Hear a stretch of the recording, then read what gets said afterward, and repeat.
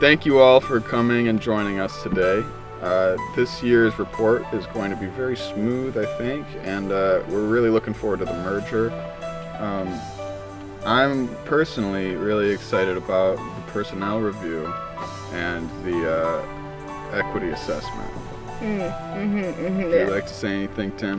I would, I would, Douglas. Uh, I would like to say that our firm is top notch right now, top notch, and we have fire.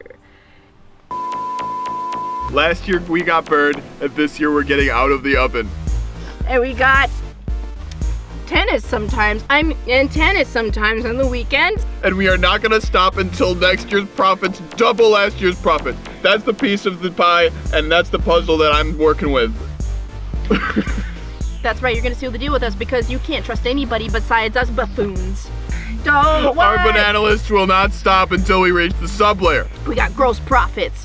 We got irritability. We got Irene. Well, This deal's off the table by midnight. and we're going tubular with this plan, buddy. This year is about tubes. Tubes. So how does that sound? Take a look at me, baby.